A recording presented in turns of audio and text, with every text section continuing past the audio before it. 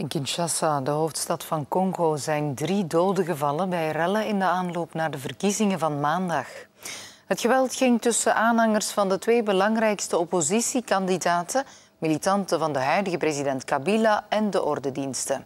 Een verslag van Peter Verlinde.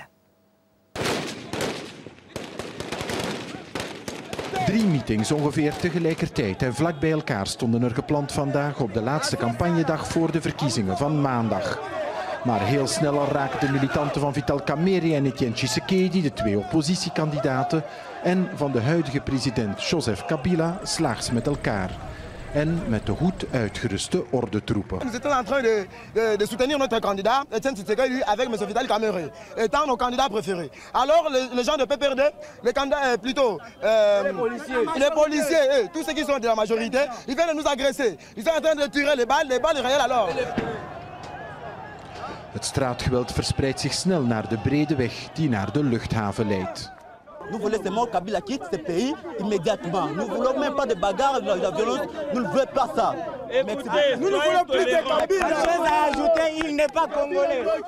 De twee rivalen, Joseph Kabila en Etienne Tshisekedi, worden in de loop van de namiddag op de luchthaven en daarna in de stad verwacht voor hun meetings.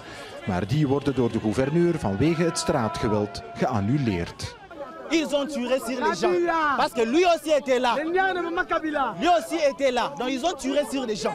Zeker tien doden zijn er hier vandaag gevallen, zeggen de aanhangers van oppositiekandidaat Etienne Tshisekedi. Zeker is dat dit een dag geweest is van groot geweld.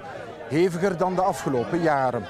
De vraag is dan ook wat er maandag zal gebeuren op de dag van de verkiezingen zelf. En vooral de dagen erna als de uitslag bekendgemaakt wordt.